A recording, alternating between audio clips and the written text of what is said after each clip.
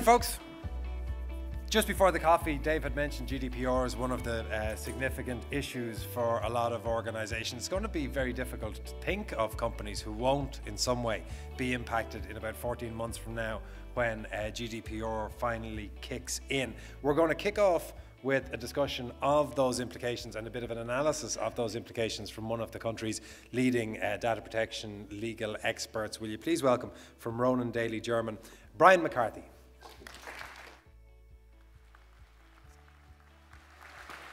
Thanks very much, Anton. Uh, ladies and gentlemen, good morning. It's a pleasure to speak with you today on data protection and the law though it's slightly unnerving when you get up onto the stage and Jason Burns goes, listen, good luck with that. And he starts unfurling the iPod earphones, and I'm convinced he's going to put them in. But um, something very big is happening next year. Um, and after, uh, after much deliberation and discussion and cross-border diplomacy, Ireland is going to experience something next year that it hasn't experienced in quite a number of years it's a, I suppose it's a testament to where Ireland ranks in this context that um, in 2018, Pope Francis is coming to Ireland. And whilst a lot of you might be feeling in need of some divine inspiration to get your arms and indeed your head around GDPR, my, my task today is in very simple terms to, to share some of the experiences and dealings that I've had with my clients. So clients that span a range of industries from very early stage tech startups on the one hand to household recognized brand names on the other. Because at the end of the day, every company deals with personal data, whether it is customer data, employees, service providers. And the aim for me today is to, in very simple terms, give you the main highlights of GDPR for you to take away consider, and implement as necessary. So GDPR, the General Data Protection Regulation, general in name and general in nature. And it increases the number of individuals that have rights. And it also, from our collective perspective, it also significantly increases the number of obligations that are on companies as well. And it's going to be a challenge. And one of the, um, one of the key things that I'm telling my, um, my, my, clients when they're asking me, well, look, what is the, uh, you know, what's the big stick here? What do I really need to, to be aware of? And that is, is very simple. That the chatter in the corridor is very much around fines, the administrative fines. Um, under GDPR, breach of the higher tier provision can result in a fine of up to 4% of the preceding financial year's global worldwide turnover, or 20 million euro, whichever is greater. So, by way of example, in 2013, Yahoo was hacked, and this wasn't disclosed until the end of 2016. Now, had GDPR applied to Yahoo, these are the sorts of figures that you'd be looking at. In 2016, Yahoo's global annual revenue was just north of $5.1 billion, not a small amount. If the higher tier provisions were to have applied to Yahoo, it would have been in line for an eye-wateringly high fine of $240 million. Now, when you compare that against the maximum fine applicable to most companies under the existing Data Protection Acts of 100,000 euro, then you start seeing the numbers taking effect. Now, we all know that there's only one Yahoo, but there are very many of you. And the key question then is, is GDPR applicable to your organization?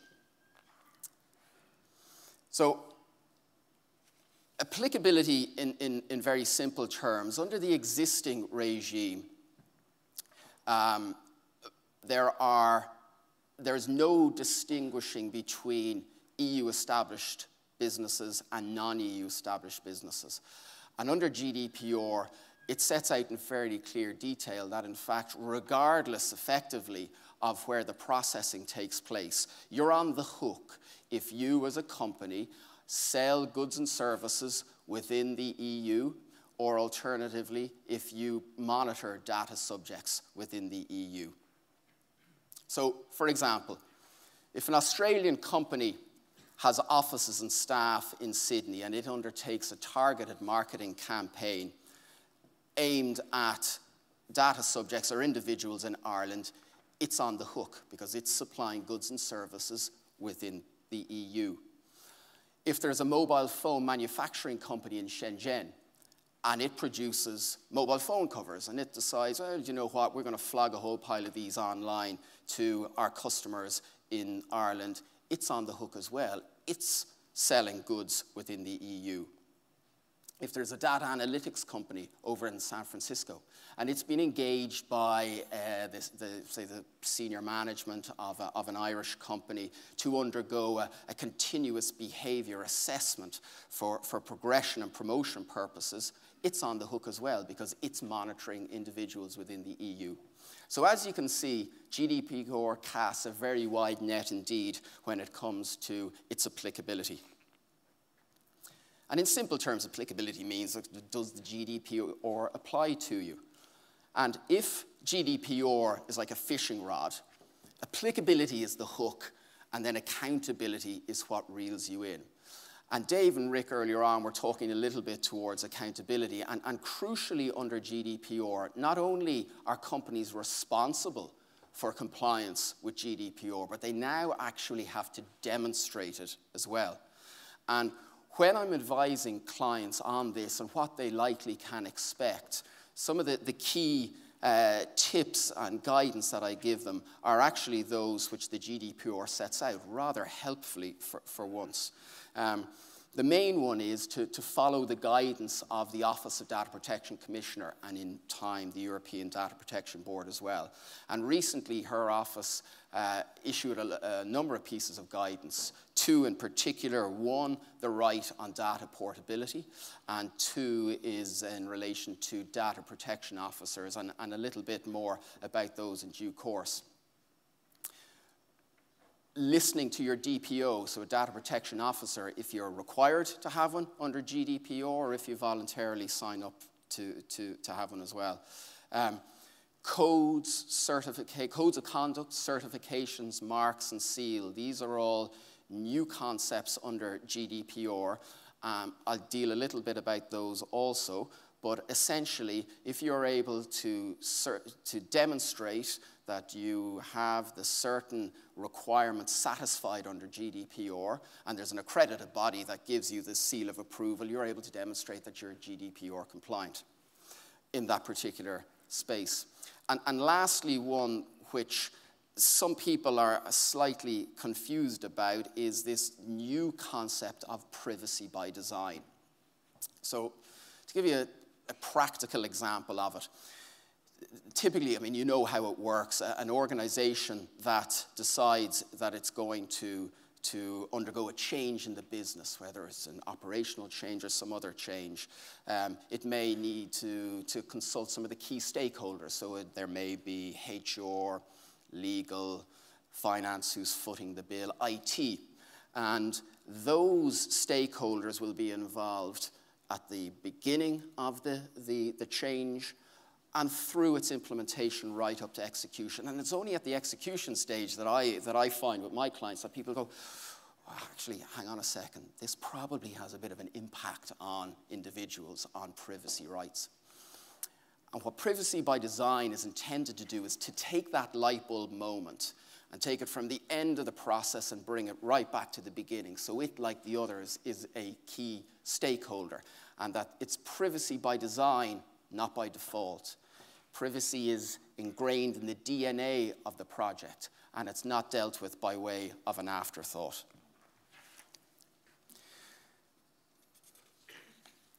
So, this point about demonstrating compliance is really, really crucial to the, the principles of, of GDPR, and it's something that I urge you all to move forward and up or up the list of your, of your things to do. So, Having looked at some of the, the higher level points, let's delve a little deeper into, into some of the specifics. Without a doubt, the single biggest concern that, that uh, or one of them at least, that my clients have when they, when they talk to me is around the area of consents. So this is consent in very simple terms to the processing of, of personal data. And you remember it's the little box you tick right at the beginning of engagement with a service provider by and large. And service providers are worried because their consents could be out of date. They may have envisaged a type of processing day one, which actually bears no resemblance to how the data is being processed today. Um, they may be uh, dealing with a different data controller the, the process may have changed, the, the business may have been hived off. Um, and in particular, following a surge in, in cloud based computing, and we've certainly heard a lot of that this morning, um, consents which don't anticipate at all the, in, the transfer of data on an international basis to some of these cloud um, based storage providers. And it's crucial to note that the conditions under GDPR for a valid consent to be given are now much, much tighter and they're, they're much stricter. So for a valid consent to be give, uh, to, for consent to be valid, it must be freely given, it must be specific, it must be informed, and it must be unambiguous. That is given in a clear or by way of a clear affirmative action. So gone are the days then of inaction of pre-ticked boxes, of, um, of silence constituting a valid consent. And in practical terms then, this means that companies will really need to run the rule over their consents. And how I describe it is it's like the old Ronseal ad. Consent and processing, it needs to do exactly what it says on the tin. It's also important to, to note at this stage that data subjects now have a right to withdraw consent. And in fact, although they have that right to withdraw it at any stage, in fact, for the consent to be valid in the first place, data subjects, individuals must be given, the, it must be told that they have the right to withdraw the consent at any time. And I can't put it any clearer than GDPR itself when it says it must be as easy to provide the consent in the first place as to withdraw it.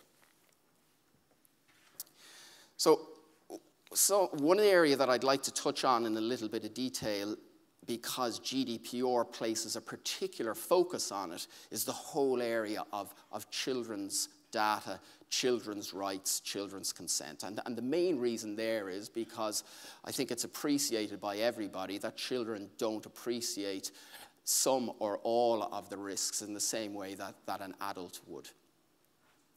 Um, and we, we've seen it all ourselves. You know, little kids pressing the button at the bottom of the iPad, or you know, they're, they're running their finger across anything that looks like a screen at all. Um, and we've seen a huge surge in the level of electronic information that's being transferred between companies and individuals. And I'm particularly uh, interested in how it impacts on my clients in the healthcare and the education industries. I mean, my own kids now, there's, a, there's an app where you find out exactly what they're doing uh, of a given day, what books they need to do, where they're going to be going on their school trips, etc. Under GDPR, a child must be 16 years of age to give a valid consent. Children under 16, the consent must be given by a parent or by those with parental responsibility. Now, GDPR does allow member states to, to drop that age below 16, provided that it doesn't go below 13. And interestingly, the first state consultation on GDPR was in relation to the children's digital age of consent. And that closed last December, 3rd of December. And it'll be very interesting to see how it plays out in the upcoming data protection bill.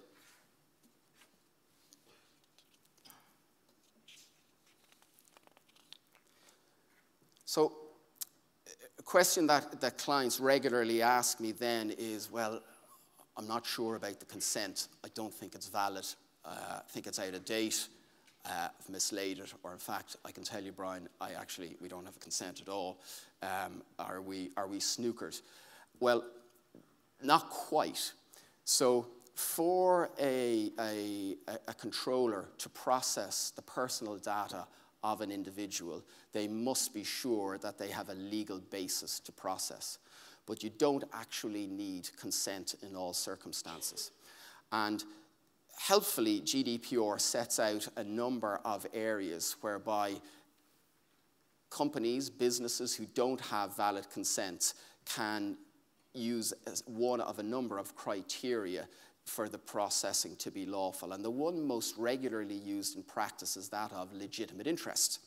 So um, in, in simple terms, legitimate interest is, you know, the legitimate interests of the controller on the one hand in terms of delivering their product or in terms of operating their business. And then on the other hand, you've got the fundamental rights uh, and freedoms of the data subject. And provided that the legitimate interests of the business don't override the fundamental rights and freedoms of the data subject, then you're in business. Well, what does that mean? So, I suppose, it, by way of example, if you have a, a company that's subject of a sale and the, the company itself has a very large customer database full of very sensitive personal pieces of, of, uh, of information. It may be that day one, that when consent of those individuals was being obtained, that nobody anticipated the company would be sold on. So the question then is, well, it's clearly in the legitimate interests of the, of the, the shareholders to sell on the company.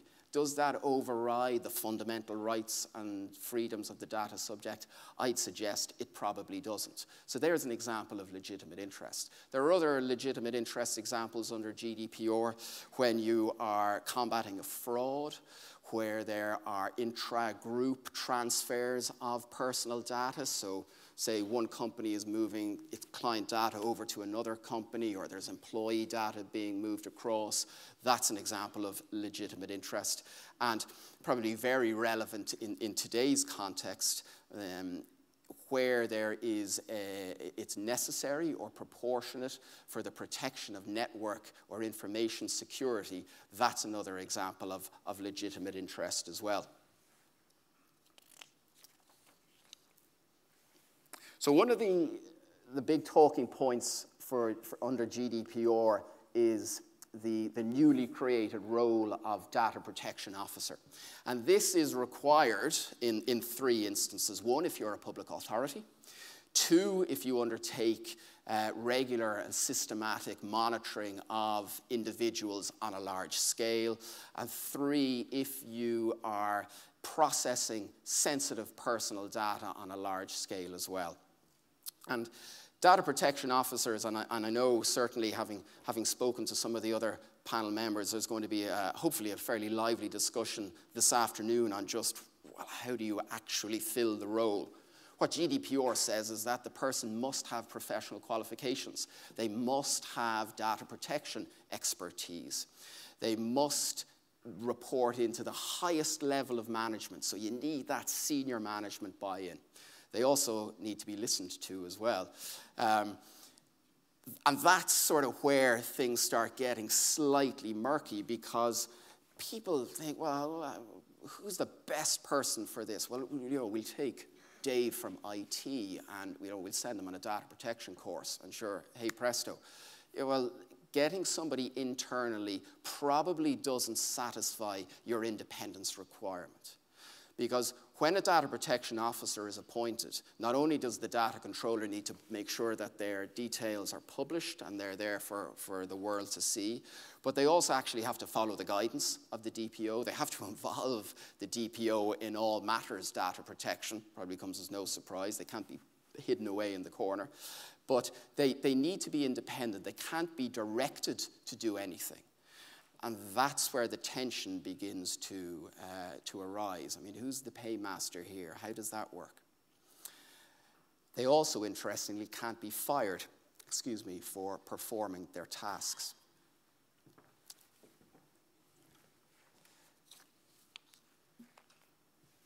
So, data subject rights, this is, I see, a really, really hot area for, for all businesses.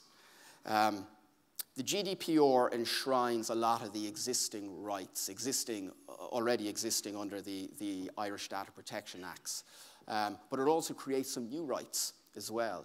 Um, and it's, it's, it's, what's interesting is I know that consumer groups have been tracking with interest the development of these, not only the existing rights, because there are a few new bells and whistles to some of them, but also some of the new rights as well. And, and two really spring to mind. One is the, uh, the right to, um, to, to have your data erased. And it's akin to the, to the right to be forgotten that some of you may have heard um, from, the, from the Google Spain case. The second, uh, which, is, which is quite interesting, is the right, it's a new right, it's the right to data portability. And what that right is, is if I'm an individual, I'm a data subject, and I give a whole pile of my personal data to service provider A, I can then ring them up one day and I say, Do you know what? I want you to transfer all of the data that I've given you across to uh, service provider B.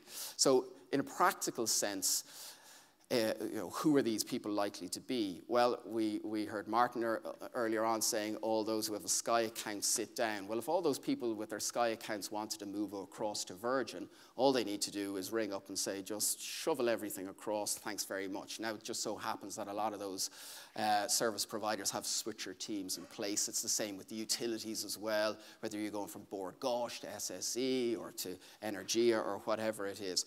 But for entities that aren't used to that, are you all ready to deal with a request to port data across to another service provider? The age old data subject access request is also worth mentioning as well. And you know the drill here. You've got 40 days once you get the, the, um, the letter in. And in fact, it doesn't need to be a letter at all, it can be an email. Um, it lands on your desk you realize that actually it's been sitting on somebody else's desk for the last two weeks, so you're already down about a third of your time. There's a mad scramble to call up all of the files. You get your electronic records, you take the top off the big, big black marker, you start redacting, you put everything into an envelope, you shovel it all out the door, and you cross your fingers that you don't hear from the, uh, from the data subject again. Well, that world is about to change, and not for the better. Not only do, is your 40 days now 30 days, but that big juicy check that you used to get for the 6 euro 35, you know the one that was to cover all of the cost of this, well that's now gone, so you're doing it for free. Now there are a couple of exceptions. If, you, if people want additional copies, you can, you can charge a reasonable fee for it, and indeed um, the 30 days, that can be extended by two further one month periods as well but I kind of get the feeling that the noose is tightening a little bit on that one, I have to say. So, security obligations. So, here's my scary slide. It's not really that scary, but um, we're hearing an awful lot today about security obligations under GDPR, and we plan to thrash it out a good bit more in this afternoon's panel discussion as well. But from a legal perspective, there are a couple of important points to note. First of all, when approaching, well, what do I do? Well, you can have regard to three things. You can have regard to state of the art, or as I describe it, the state of technological development. You can have regard to the cost of the security measures. You can also have regard to the type of personal data that you're processing. And once you've had regard to those three things, then you need to be able to put in place appropriate technical and security measures to deal appropriately with a risk of a data breach to that particular um, personal data. It's, a, it's, it, it's, it's quite nebulous, um, but one thing that I, that I would like to say is that um, in practical terms, that means that if you are an early stage business, you don't have a lot of money, or maybe you are dealing in personal data that really isn't that high risk in the, in the hierarchy of things, well, then you don't need the Rolls Royce of technological measures to be implemented. You may want to because of your brand or your, your, your reputation or some other stakeholder, but not strictly required under GDPR. But what happens when there is a data breach, there is a notification. Well, you've got 72 hours to inform the Office of the Data Protection Commissioner, or which will be the, the National Supervisory Authority, and if it's high risk, you need to contact the data subject without delay. I have three seconds, two seconds, one second. There we go. Right a quick note on codes of conduct certifications, marks, and seals. I think this is a really, really welcome development because up until now, certainly under the Irish data protection law, it was all principle based. You had your eight core principles.